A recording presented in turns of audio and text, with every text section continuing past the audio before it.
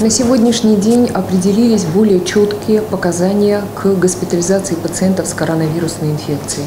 Первое – это сатурация меньше 95%, сатурация кислорода. И второе – это температура, лихорадка 38,5 градусов Цельсия в течение трех дней а также э, температура, которая не лечится жаропонижающими препаратами. А, нужно сказать, что большинство препаратов для лечения коронавирусной инфекции а, подбиралось по типу off-label. Что это значит? Препараты, которые были рекомендованы многим а, другим заболеваниям и показали свой эффект, также показали свой эффект при использовании у больных пациентов с коронавирусной инфекцией. А, нельзя сказать, что а, некоторые специализации, некоторые ниши противовирусных и других препаратов на сегодняшний день пересмотрены.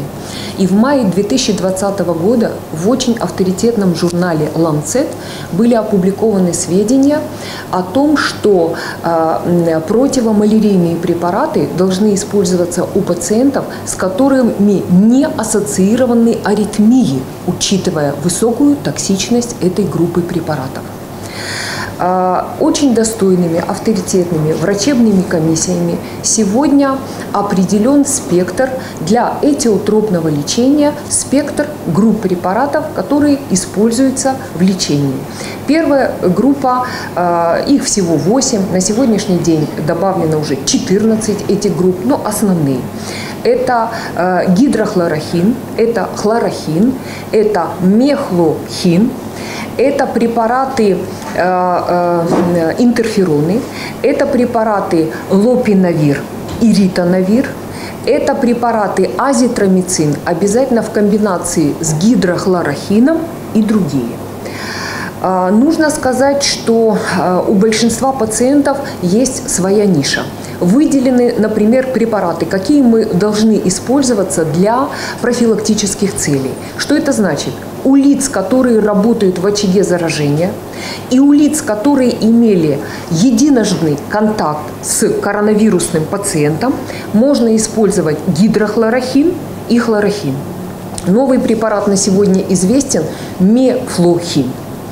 У лиц, с легким, средне-тяжелым течением до 60 лет, без сопутствующих заболеваний, на сегодняшний день используется гидрохлорохин, мехлохин э, и используется также рекомбинантный интерферон плюс э, умифенавир. Умифенавир – это наш известный орбидол. У пациентов, у которых возраст больше либо равно 60 лет – Выявлены также тяжелые сопутствующие заболевания, тяжелая пневмония с дыхательной прогрессирующей недостаточностью, используется азитромицин с гидрохлорохином или ритонавир плюс лопинавир и плюс интерферон. Если говорить о пациентах с тяжелым течением э, коронавирусной инфекции и с выраженной степенью дыхательной недостаточностью, к вышеперечисленной схеме добавляются другие новые препараты. Какие? А, тоцилизумаб, сарилумаб и барицитинип –